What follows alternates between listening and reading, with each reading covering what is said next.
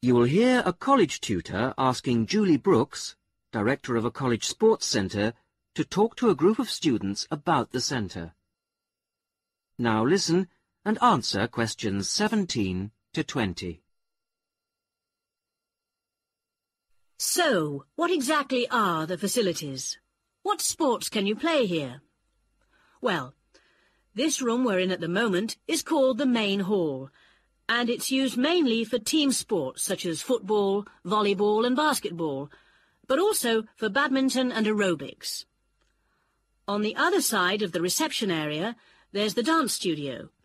This provides a smaller, more intimate space, which we use for ballet, modern dance and martial arts.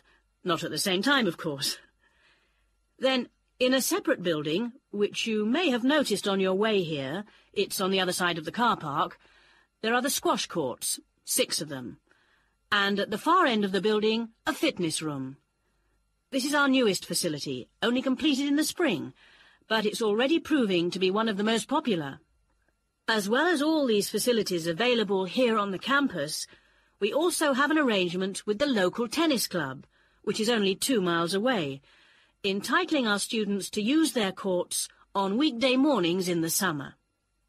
So, I think that there should be something here for everybody, and I hope to see all of you at the centre, making use of the facilities.